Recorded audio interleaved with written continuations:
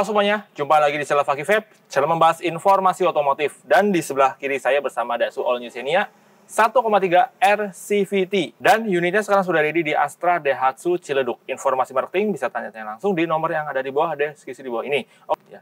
Mobil ini dibanderol dengan harga 253 juta 650 ribu untuk per 2023 teman-teman. Ini varian tipe R, varian yang paling banyak dibeli varian yang paling worth it ya, yang paling masuk akal, harganya nggak terlalu tinggi, ya fiturnya sudah lengkap sama seperti tipe R yang tipe tertinggi. Karena untuk tipe R tertinggi yang 1500 cc tipe R CVT ASA harganya sudah 277 juta rupiah. Ini harga tertinggi buat Xenia.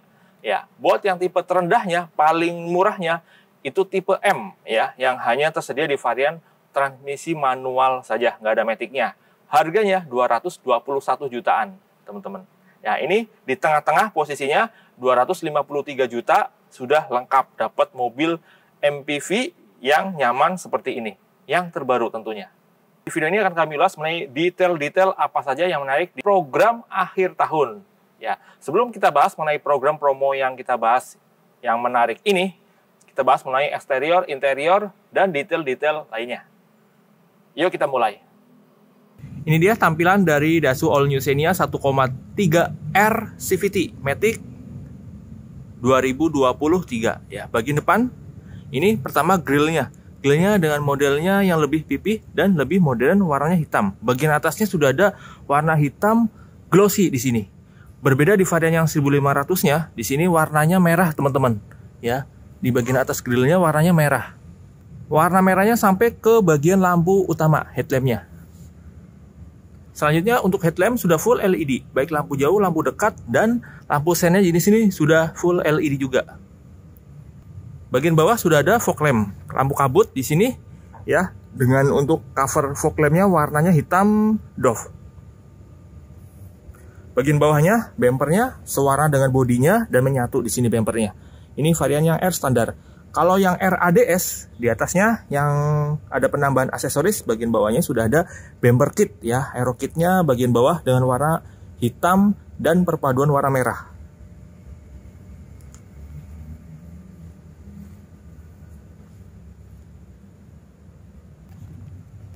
Dimensi ukuran mobil ini memiliki panjang keseluruhan 4395 mm, lebar 1730 mm dan tinggi keseluruhannya 1690 mm.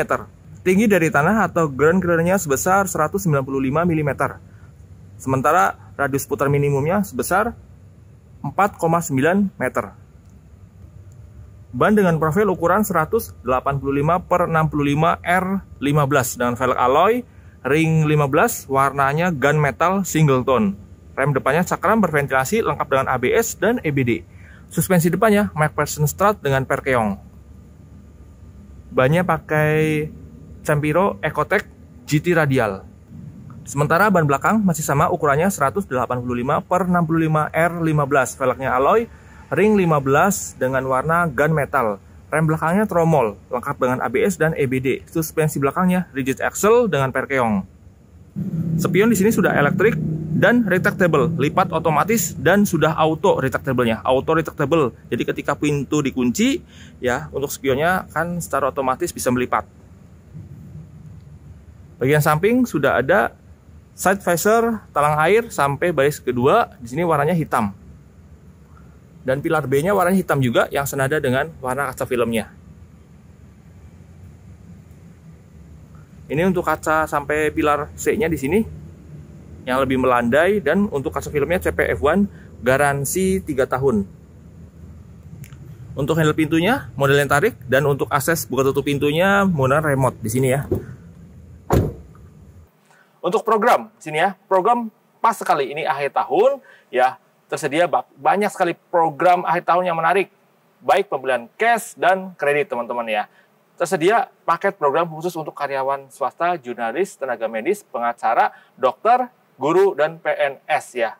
Termasuk juga untuk karyawan Astra Group ini teman-teman. Dapatkan tambahan diskon, DP, dan untuk pembelian cash, potongan harga khusus. Ya, untuk uh, free admin juga tersedia juga dapat teman-teman free admin subsidi DP untuk pembelian kredit. Ya, buat teman-teman yang kredit dengan secara skema syariah juga bisa, teman-teman. Buat teman-teman yang pengen melakukan trade-in, tukar tambah mobil lama teman-teman ke mobil Xenia terbaru ini, bisa teman-teman ya. Dan teman-teman bisa dapat benefit uang cash 5 juta rupiah langsung tanpa diundi teman-teman ya. Dan buat bulan ini, akhir tahun 2023, tersedia juga undian. Undian berhadiah satu unit Grand Prize Dasu All New Xenia satu unit. Beli Xenia dapat Xenia lagi. Jadi Xenia dapat dua teman-teman. Ya. Selain itu juga berkesempatan untuk dapatkan emas logam mulia 10 gram masing-masing buat 18 pemenang teman-teman. Jadi ini lebih teman-teman akan e, berkesempatan ya kemungkinan menang juga lebih besar teman-teman. Buat teman-teman yang mau pembelian secara kredit, ya dengan skema DP minim bisa. DP mulai dari 10%. Dan angsuran untuk angsuran 3 juta juga bisa, teman-teman. Buat yang kendala masalah BI checking, data persatuan kredit kurang lengkap, bisa kami bantu. Ini tampilan dari bagian belakang Dasu All New Xenia yang tipe R CVT ya. Seperti ini. Untuk lampu belakangnya sudah full LED baik lampu belakang, lampu sen dan lampu mundurnya sudah LED semua di sini ya, teman-teman. Terlihat. Kalau tipe R seperti ini, ada belangkungannya seperti huruf L. Ya, untuk yang 1500 tipe R sampai di sini ya, ikut menyala ya. Karena ini tipe yang 1500 1300, maaf. Untuk tipe untuk tipe yang 1300 ini tidak menyala lampunya, hanya dummy di sini. Kaca belakang belum ada defogger, tapi sudah ada wiper belakang di sini Ya, kaca film CPF1 garansi 3 tahun. Untuk spoilernya di sini seperti ini dan untuk antenanya model Sakvin antena di atas ya, seperti ini. Lebih modern, lebih keren. Untuk keamanan bagian belakang sudah ada dua titik sensor parkir belakang di sini. Ya, sebelah kiri dan sebelah kanan. Dan di bagian bumpernya sudah ada lampu reflektornya di sini. Ya, mata kucing sebelah kiri dan sebelah kanannya knalpotnya muffler cutter di sini chrome dan sudah ada Protera Protection di sini ya. Protera Protection anti karat, pelindung cat dan peredam suara. Garansi dari Astra. Bagian belakang juga sudah ada kamera mundur di sini yang untuk, tipe R. Kalau tipe X ke bawah belum ada.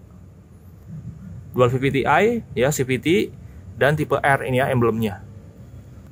Untuk pembukaan pintu bagasinya sudah elektrik tombolnya, tapi pembukanya manual yang seperti ini. Ini pembukaannya tombol elektriknya. Ini bagasi tipe R ya. Sudah ada kargonet di sini dan cukup luas bagasinya. Sudah ada lampu kabinnya, lampu bagasinya sudah ada. Ada tempat penyimpanan juga di sini sebelah kirinya. Sudah ada tempat penyimpanan. Dan lantai bagasinya di sini sudah bisa dibuka, teman-teman. Nah, untuk tempat penyimpanan di sini sudah ada semuanya ya.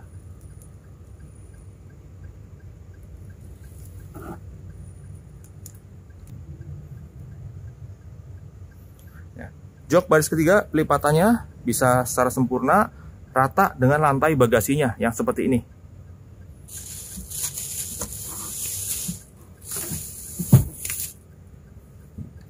Pelipatannya di sini ada tali ya di sini sebelah pinggir untuk membuka di sini. Nah, ini terlihat pelipatannya bagasinya sudah rata dengan lantai bagasinya. Sebelah kiri bagasinya sudah ada baris ketiga sudah ada cup holder di sini. Sebelah kanan juga sudah ada dan sudah ada power outlet 12 volt ya untuk tipe R yang 1300 sudah ada. Tipe X dan tipe M paling bawah di bawahnya tipe ini tidak ada ya teman-teman. Untuk door trim di sini bahannya keras warnanya hitam full hitam semuanya. Sampai bagian bawah sebagian door trimnya juga di sini armrestnya sudah ada. Untuk tombol pelindung tombol power window 4 sini untuk pengemudi sudah auto dan untuk spion elektriknya tombolnya di sini pelipatan otomatis ya auto retractable sudah ada di sini ya. Untuk bagian interior joknya di sini bahannya fabric warnanya hitam ada stitching finishingnya warnanya merah jahitan di sini dan di bagian tengahnya sudah ada motif warna merah ya list warna merah Berbeda yang varian 1500 sudah ada pengaturan ketinggiannya. Kalau 1300 tipe R ini belum ada teman-teman. Reclining dan sliding sudah ada.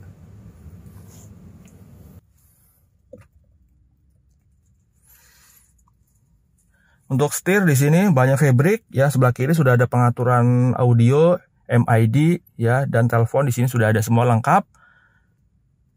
Dan di sisi kanan sudah ada pengaturan tombol untuk trip meternya di sini ya teman-teman. Oke, setir ini sudah ada pengaturan untuk tilt steering naik turun di sini. Ya, teleskopiknya belum, ya, teles, uh, tilt steering dia.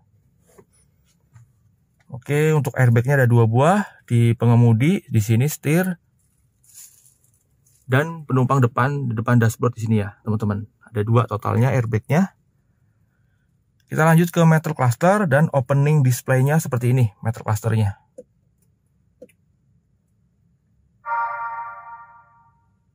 Ini dia opening displaynya ada logo Xenia nya gambar Xenia. Ya untuk variannya 1300 R warnanya merah di sini dan tengahnya sudah ada MID yang lebih lebar di lebar di sini ya dan menunya lebih banyak MID-nya seperti ini. Ya untuk pengaturan konsumsi bahan bakar di sini ya posisi tuas transmisi di sini. Ya. Ya display brightness pengaturan kecerahan display di sini bisa diatur ya. Ya ini lebih redup ya ini lebih cerah lebih terang. Oke. Kita di bagian bawahnya ada time and date ya di sini ya waktu dan tanggalnya bisa diatur setting display setting di sini ya. Eco indikator light-nya indikatornya average fuel refuel after refuel ya. Trip A reset after refuel opening displaynya ada ending displaynya juga sudah ada bisa diatur di sini. Steering angle ya. Ini steering angle jadi sudut ada indikator untuk uh, arah roda beloknya di sini bisa ditampilkan uh, ya. Kembali buzzer notification date ya untuk tanggal reminder seperti itu ada 10 tanggal yang bisa di sebagai reminder ya seperti tanggal servis, tanggal ulang tahun, pernikahan dan lain-lainnya. Vehicle setting, maintenance setting, only warning ya, reset bahasa ya. Oke, lengkap cukup lengkap di sini tampilannya. Untuk tampilan steering angle-nya seperti ini teman-teman ya.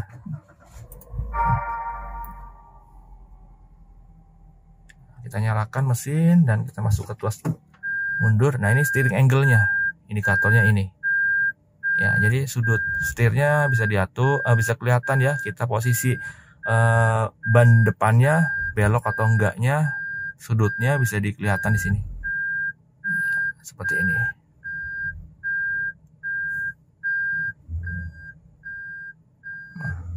Ini mempermudah kita ketika parkir teman-teman. Mempermudah, sangat mempermudah.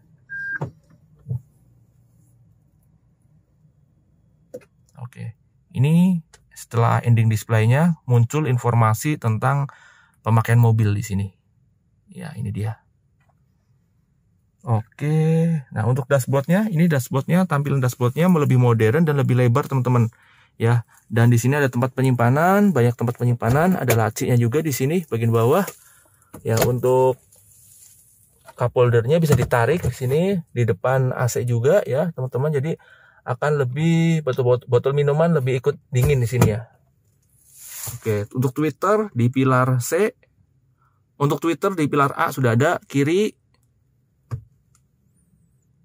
dan kanan di sini ya sudah ada. Sebelah kanannya sudah ada tempat penyimpanan cup holder juga di sini. Depan AC juga dan di bagian bawahnya sudah ada tombol di sini untuk stability controlnya ya. Vehicle stability control sini sudah ada yang bisa diaktifkan di sini. Untuk stabilan kendaraan. Nah. Ini untuk tampilan dari head unitnya head unitnya sini 9 in yang lebih lebar ya lebih besar dan floating sini ya lebih modern untuk menunya apa saja di sini ya radio Android Auto dan Apple CarPlay di sini ya untuk Apple CarPlay Android Auto-nya di sini harus menggunakan sambungan USB ya USB-nya ada di sini sebelah kiri ya ini dia Ya, ini port USB-nya sebelah kiri di sini. Ini dia ya, USB sini ya. Oke. Dan tampilan kamera mundurnya yang ini. Kamera mundurnya ini ya, untuk isi AC bagian bawah dan AC-nya sudah digital di sini. Ya, pengaturan blowernya, pengaturan suhu, tombol AC, max ya, dan di sini air sirkulatornya di sini ya, ventilatornya. Tombol power off di sini. Bagian bawahnya engine start stopnya sudah ada di sini ya. Untuk tipe X ke bawah dan tipe M masih menggunakan anak kunci. Nah, untuk tipe di atasnya yang 1500 warnanya merah tombolnya di sini. Ini tempat kartu e-tol. Di bagian bawahnya juga sudah ada di sini. Port USB 2,1 ampere di sini. Buat ngecharging bisa di sini ya, teman-teman. Mantap sekali sini banyak tempat penyimpanan. Dan untuk transmisinya di sini sudah dual CVT yang lebih lembut, responsif teman-teman. Dan posisinya P R, N, D, dan sekuensial, posisi plus dan min untuk mengurangi dan e, menambah posisi tuas transmisi. Di sini ya, untuk e, konsol tengahnya, di sini ada list silvernya dan motifnya seperti karbon di sini. Ya, ala-ala karbon di sekitar tuas transmisi. Di belakangnya, di sini ada hand remnya manual dan ada ya power outlet 12 volt di sini. 12 voltnya di sini ada ya untuk charging juga Ya konsol boxnya di sini ya bisa dibuka buat tempat penyimpanan. Oke. Seat beltnya di sini tiga titik yang fix tidak bisa diatur dia tinggiannya ya. Untuk grip assistnya soft opening di sini sebelah kiri saja, sebelah kanannya nggak ada. Ini sebelah kanannya ya nggak ada. Untuk Sun visornya ada dua buah di sini. Ya, lengkap dengan vanity mirror di bagian penumpang depan. Untuk pengemudinya belum ada. Kaca spion tengah, dynamic view-nya manual di sini, anti silau-nya dan lampu kabinnya halogen warna kuning. Bagian bawah sudah ada apar alat pemadam api ringan di sini ya, di bawah jok penumpang depan.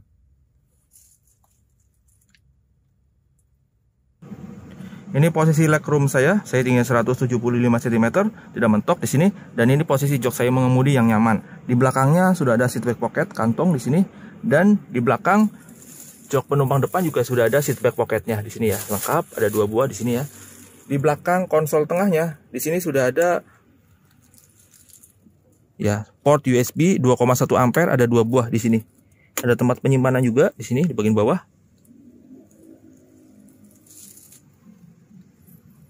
ruang kabin ruang kakinya lega ya sini ya karena ini e, penggerak roda depan ya jadi gundukannya kecil di sini bagian tengahnya door trim pintu baris kedua di sini ya ban hardtouch warna hitam dan untuk cup holdernya ada dua buah bagian atas dan bagian bawah. Speaker satu tombol power window satu handle pintu senada dengan door trimnya untuk baris kedua joknya di sini konfigurasinya 40 per 60 sisi kanan 60 sisi kiri 40 ya. Dan sudah ada one touch tumble. Sekali tuas bisa lipat secara sempurna yang seperti ini. Pelipatannya dari sini. Ya kita tuas. Ya bisa lipat secara sempurna di sini ya. Lebih mudah untuk akses baris ketiga. Ini tampilan dari jok baris ketiga ya. Konfigurasinya 50 per 50 dan sudah ada headrestnya bisa ada tuh ketinggalannya di sini headrestnya. Dan sebelah kiri sebelah kanan maaf. Sebelah kanan sudah ada power outlet 12 volt di sini. Ya. Power outlet 12 voltnya di sini.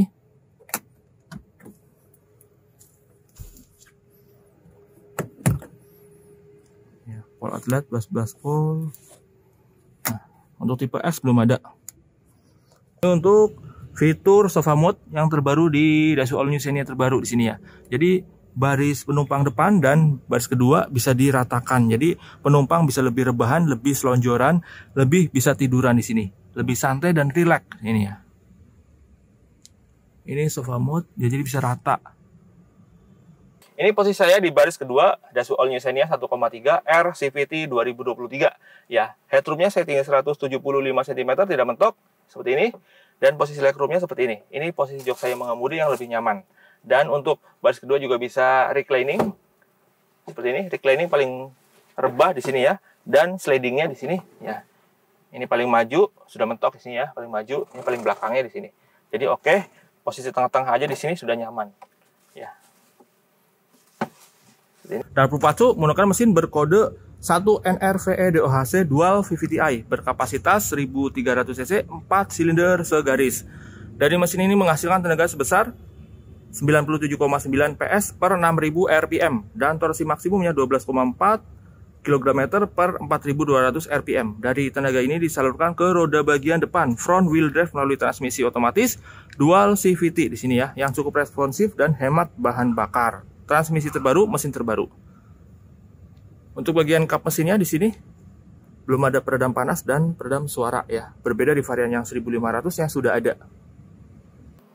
Sekian pembahasan singkat dari Dasu All New Xenia 1,3 R CVT 2023. Semoga bermanfaat buat teman-teman yang ingin mengetahui informasi lebih lengkapnya, bisa tanya-tanya langsung di nomor yang ada di bawah deskripsi di bawah ini. Atau hubungi website kami di astradesutciledug.com. Buat teman-teman yang menyukai video ini, dukung channel kami dengan cara like, subscribe, dan share agar selalu mendapatkan update informasi otomotif. Terima kasih sudah menonton, sampai jumpa video selanjutnya. Salam otomotif.